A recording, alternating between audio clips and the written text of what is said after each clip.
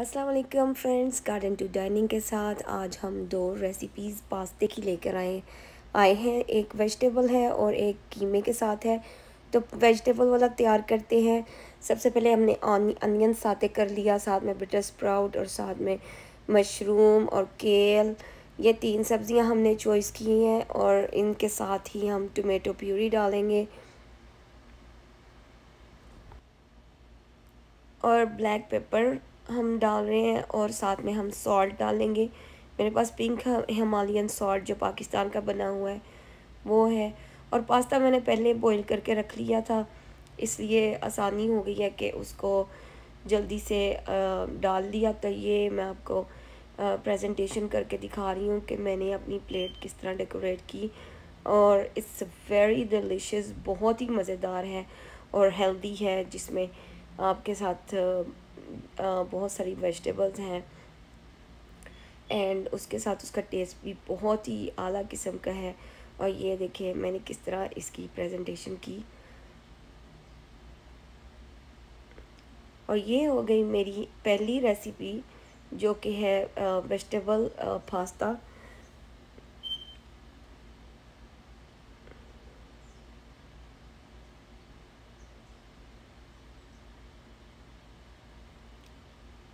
and it's really mouth watering इसका taste भी बहुत अच्छा है।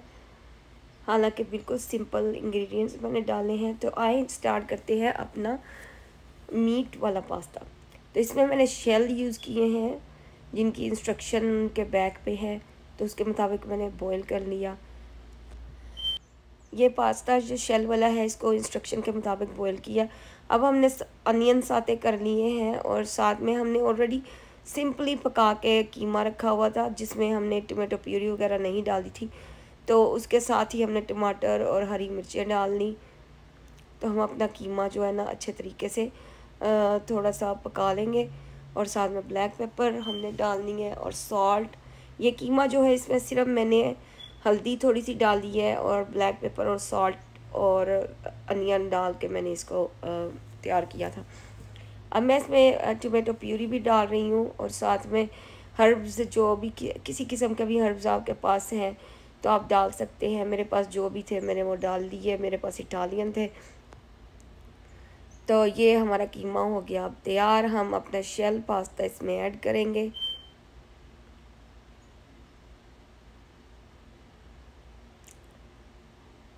इसमें मैं दो किस्म का पास्ता ऐड कर रही हूँ। मुझे ये पसंद होता है कि छोटे पास्ते जो हैं वो बड़े पास्ते के साथ इकट्ठे मिलके बहुत ही अच्छी लुक आती है तो वो मैंने इस तरह दोनों टाइप के पास्ते डाल दिए एल्बो भी पास्ता डाल दिया और शेल भी।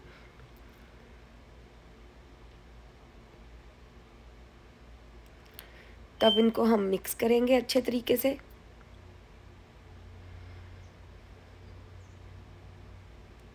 ये देखिए कितना खूबसूरत लग रहा है। शेल के अंदर आप देखेंगे कि कीमा और एल्बो जो है वो शेल के अंदर चले गए हैं और उसकी बहुत ही प्यारी लुक आती है।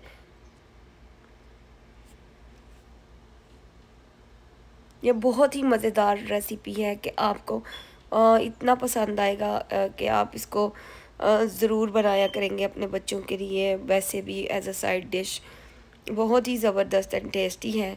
एंड इसकी प्रेजेंटेशन भी आए करते हैं कि मैंने किस तरह इसको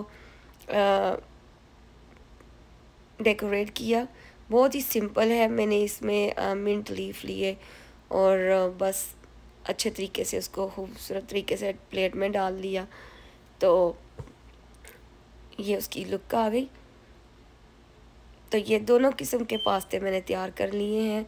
वेजिटेबल पास्ता एंड कीमे वाला pasta.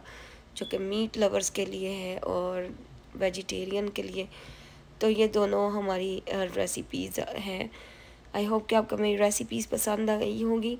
Don't forget to like my channel subscribe and send the comments thank you